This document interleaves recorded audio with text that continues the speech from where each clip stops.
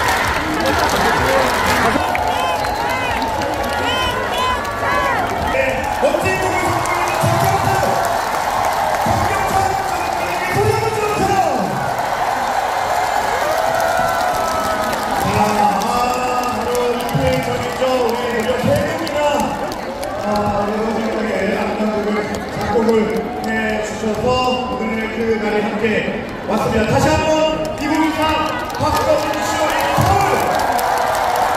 이곳을 천장에 함께 왔습니다. 우리 다시 한번 천장에 진짜 응원을 해주시오.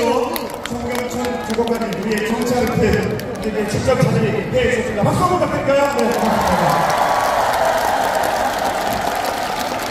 자, 여기까지 오시기가 정말 힘드셨다고 하시더라고요. 우리 과정에 너무나 많은 분들이 사진 요청을 해주셔서 서진분 덕분에 아, 내가 오히려 아닌 것 같다라는 또 어, 정말 현장에 오신 여러분 진심으로 환영합니다. 안녕하세요. 반갑습니다.